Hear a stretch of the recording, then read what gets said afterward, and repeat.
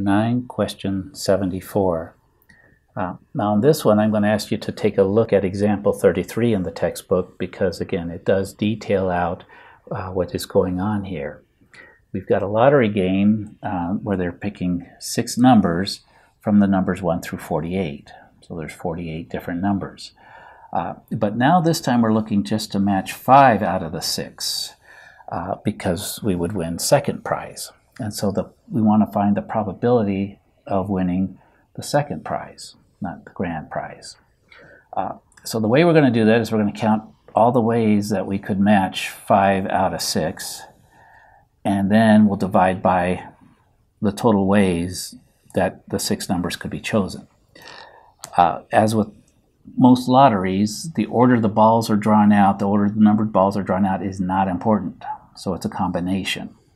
So what we've got as far as the, the total possible ways uh, to draw the six numbers out of the 48 is 48 NCR 6. We'll choose those six numbers. That's how the, the game plays. So that's, that's what our probability is out. That's the total number of ways to choose the six uh, numbers. What we want to happen is of those uh, we want to match exactly five. So of these six that came out, of the six winning numbers nCr, we want to match five of them. Six match, we got to match five of those six and not match the leftover. Sorry, it should be 48, right? Not match the leftover. So 6 from 48 is 42. So there's 48, 42 balls that didn't come out that are not here. So out of these 42 nCr, we want one. Okay, so we want one ball not to match, five balls to match. So when we multiply this, we divide by that.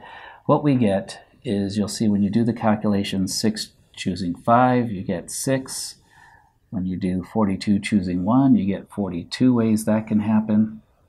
And then this bottom one ends up being 12,271,512.